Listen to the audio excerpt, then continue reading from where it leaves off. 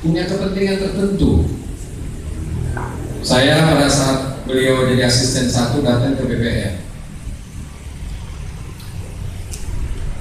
Karena saya tidak ingin yang namanya mohon maaf kalau ada dosen atau apa yang dari Unisma jatuh ke tangan orang apalagi sampai keluar negeri. Saya lacak HGB-nya. Ternyata tahun 79, 78, 79 pada saat itu mungkin sekarang masih ada yang hidup satu orang ya.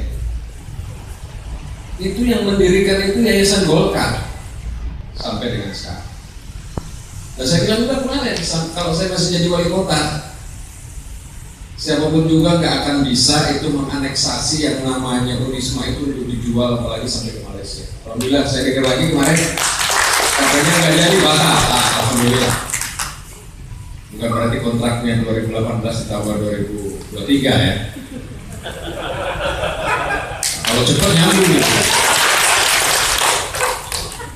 Karena saya ingin nggak mungkin membangun proses peradaban itu tanpa kualitas SDM yang pertama. Nah, kalau orang mau ngomong apa silakan. Mau lapor ke mana silakan, sering saya sampaikan.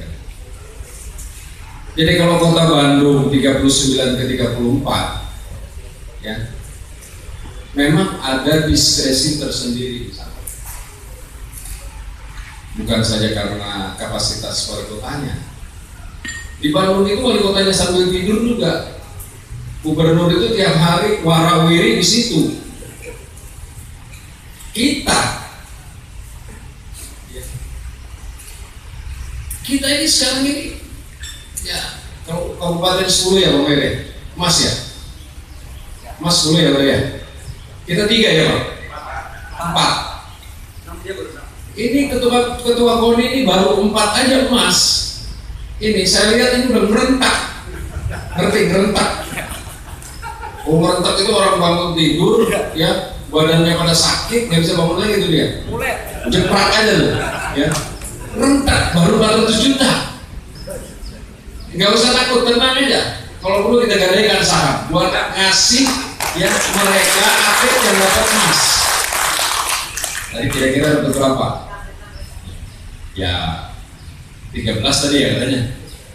Berapa Pak? 13 atau berapa? 14-an. Udah makin nyohor aja ketua kuning kalau 14 itu. Tenang aja ya. Kalau